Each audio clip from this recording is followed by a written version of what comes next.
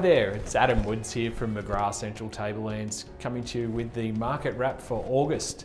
Uh, this year uh, we've seen some further growth in the, the local market and a lot of people around the area are asking me how are our uh, prices comparing with other areas. So I thought I'd share a few stats with you today uh, just to show you how Mudgee's stacking up in the greater market. Um, so if we, do, if we have a look at our median house price in Mudgee, we're currently sitting around 410,000 with a median house rental of $350 a week and unit rental of 295.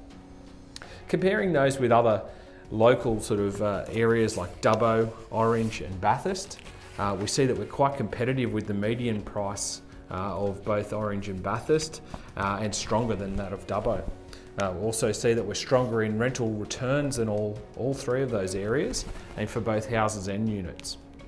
If we look a little bit further abroad, uh, other regional centres uh, that we may compare with uh, Wagga Wagga, Tamworth and Maitland, uh, we do see that we've got a similar median house price to Wagga, uh, whilst we're stronger than both Tamworth and Maitland.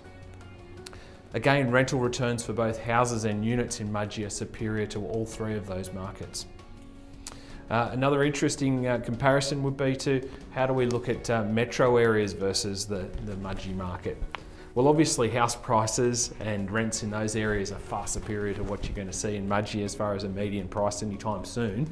Uh, but our yields comparing uh, to the yields down there, 4.4% uh, uh, return on investment yield for our houses and 5.5 for units.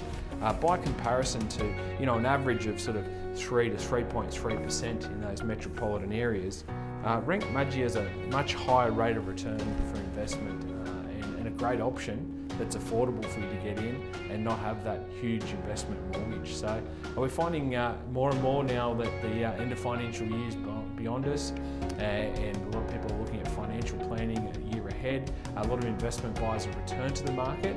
Uh, so if you'd like to look at maybe some opportunities that are out there or coming up to the market, we've got a lot of uh, off-market opportunities coming into spring.